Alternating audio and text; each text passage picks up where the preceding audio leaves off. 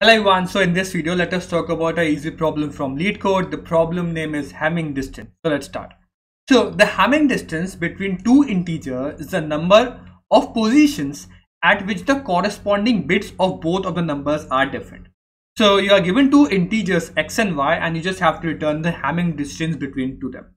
So let's take an example. So as you can see that x can be represented as this in the bit man like bit uh, representation as well as 4 is represented like this. Now if you just match every bit position, the number of bit position at which both the bits are different, you just have to count all of those positions and the count of them is actually the Hamming distance. So this is different at this position, this difference at this point they both are same. So the answer is that there are two different positions, the answer is 2.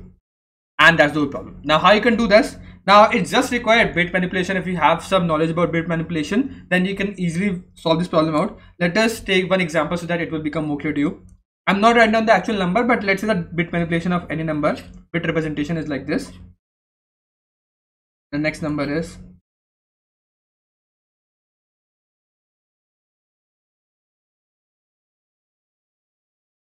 So this, this is let's say x, this is y in the bit manipulation. Now what you can do is you just have to iterate over every bit in x and y. How you can do that?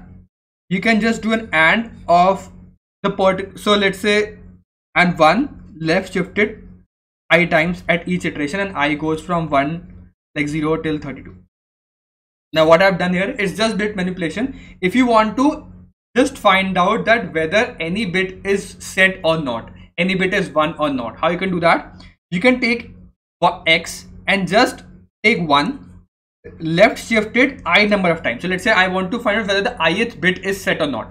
Now so let's say i want to just check five fifth bit is set or not. So just take one left shifted five times. So five times means that one left shift five times means that you have added five zeros after this. And now you have x also. So let's say that x is like this. In the bit manipulation x is like this now, if you do an AND operation of this number and this number, this number is this and X is this. If both the numbers have the same bit at the same position, this will be some positive value, which is like this. Okay. Or else if it is 0, then it will be 0. So the simple way is that if X and 1 left shifted I times, if is a positive number, then that particular ith bit is set. If it is 0, then which means that the ith bit is not set. That's the way to check that a particular bit is set or not. So you can just iterate over every i bit of x and y. So you can just use this instead of x, you can use y. So the first like expression is one left left shift i times, and the next is y and one left left shift i times. Now this two operations will tell you that whether both of the ith bit in both the numbers are set or not.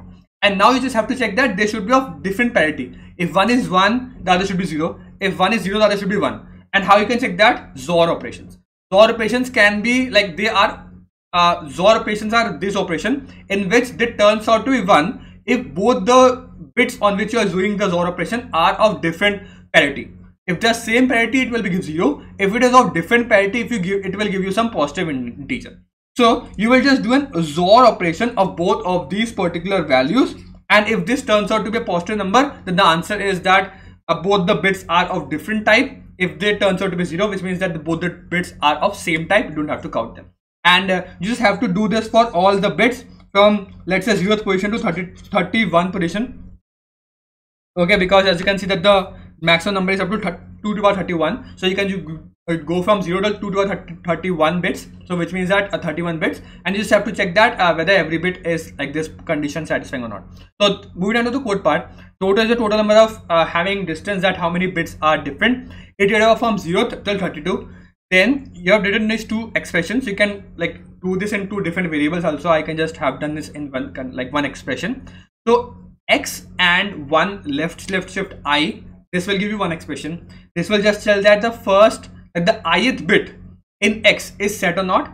Similarly with the ith bit in y is set or not if they both whatever is their status just do a XOR operation on it and if it gives a positive integer this if condition will turns out to be true and this will like increment the total variable and then just return the total number of variables that has the Hamming distance greater than uh, like that have different and just return the Hamming distance.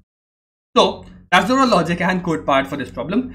And uh, the overall time complexity is o of n and n is very small. Like a total number of bits actually the total number of bits in the number uh, that i'm talking about n. And it is 32 so o of 32 that is actually just constant time so o of 1 only because we are just always doing 32 bits so o of 1 that is the overall time complexity of this problem as well. So if you still have any doubts you can mention down in the comment box. Thank you for watching this video till the end. I will see you in the next one. Till i keep coding and bye